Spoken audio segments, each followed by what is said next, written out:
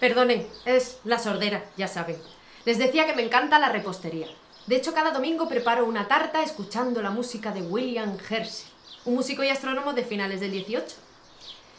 ¿Sabían que a principios del siglo XX se pensaba que la galaxia era como una enorme tarta aplastada de 25.000 años luz de diámetro con el Sol en el centro?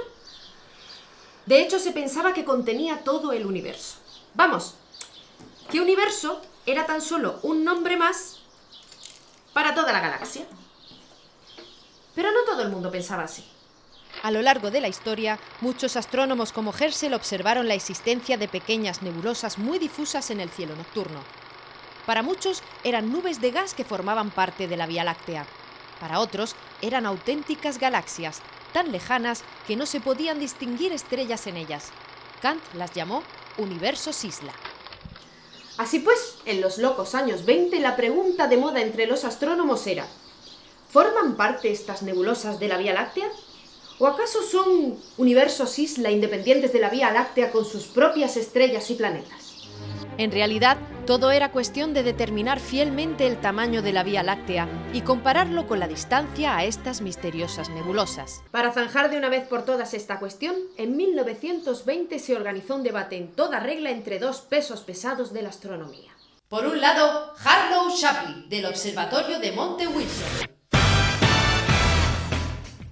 El pastel es tan grande que es imposible que existan otros. Por otro lado, Herbert Curtis, del Observatorio de Lick. Evidentemente hay más pasteles en el universo. Los participantes expusieron educadamente sus puntos de vista científicos ante una interesada audiencia. Fue un triunfo de la ciencia y de la argumentación. Eso sí, ambos salieron pensando que habían ganado. Pero, ¿realmente ganó alguien? Bueno, Shapley tenía razón en algo. La Vía Láctea era, efectivamente, mucho más grande. Hoy sabemos que tiene 100.000 años luz de diámetro y que el Sol se halla muy lejos de su centro, a unos 25.000 años luz. Pero en 1923, Shapley recibió la carta de otro astrónomo, Edwin Hubble, que decía lo siguiente. Le interesará saber que he descubierto una cefeida en la nebulosa Andrómeda, según mis cálculos, debe estar a una distancia de un millón de años luz. Un millón de años luz. Según mi compañera astrónoma Cecilia Payne, al leer esta carta, Shapley exclamó.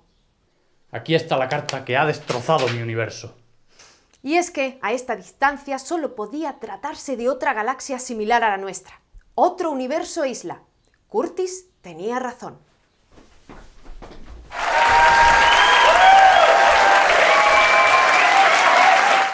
Hoy sabemos que el universo está compuesto de infinidad de galaxias que se agrupan en cúmulos y supercúmulos galácticos con tamaños de más de 100 millones de años luz.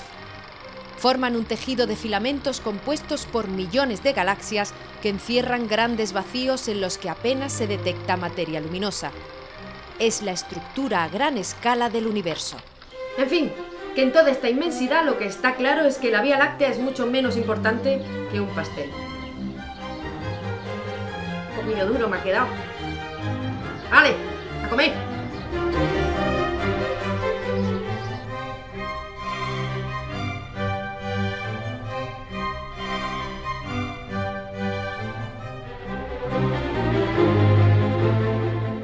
Fue un triunfo de la ciencia y de la argumentación.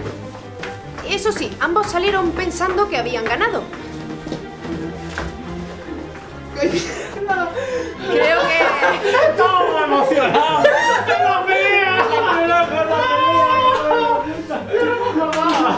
Son como niños. Está muy bien, ¿no? Eso queda bien detrás, ¿no? Sí, la cámara temblando. Claro. eh, si estoy un poco más atento a lo que yo diga. Venga, Pero si era para dejarte que ensayara, eh.